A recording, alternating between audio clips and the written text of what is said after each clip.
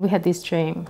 We had the dream that we want to create a business that we can build into a community where we can share with them our passion and the food that we love.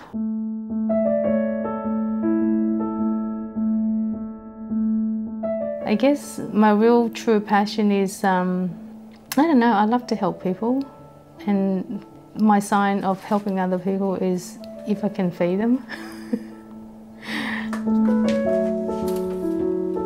I guess coming from my grandmother, she um, is a businesswoman back in Vietnam. And what happened is when I was little, we always loved to go and visit grandma because she got all the food that we want.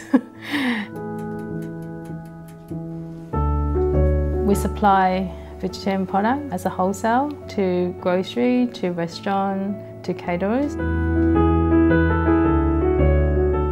Doing this business, I find that um, what if I'm not here? Because I have built it from zero until this time that is running, it's got customers, we get sales and we get income.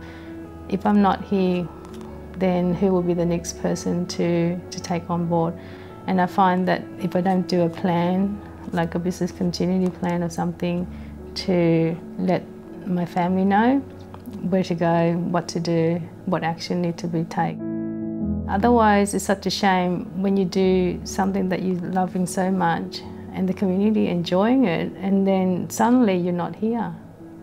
And suddenly your family cannot expand it and cannot build onto it. And that's the sad part.